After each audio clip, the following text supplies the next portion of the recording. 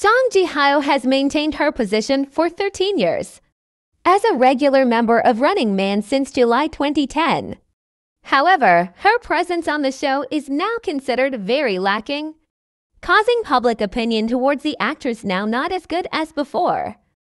In particular, on the June 25th broadcast of Running Man, Ji-hyo participated in a quiz with the other cast members. They tasted cold soybean noodle soup and engaged in a warm-up basketball game to digest the food. However, Ji-hyo's performance was lacking in this episode.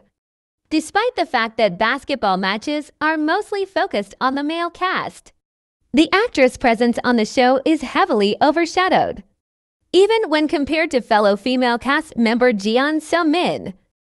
Regarding this, the online community was filled with criticism from viewers who compared Ji-hyo to a wall hanging.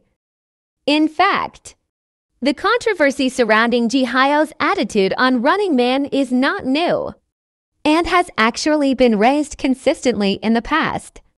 Her lackluster attitude on the show and her markedly reduced attendance especially compared to the other members, became the target of criticism. Meanwhile, Ji-hyo is currently facing issues related to her former agency, Uzurocks, and unresolved payment issues. Following the termination of her contract with Uzurocks in April, the actress also filed a report against Uzurocks CEO Mr. Ah for embezzlement in May.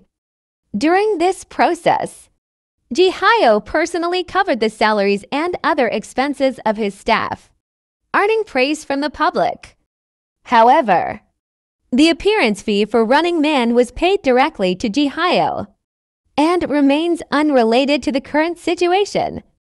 As a result, many viewers are suggesting to reduce the appearance fee for the show, which is estimated to be around 4 to 5 million won per episode.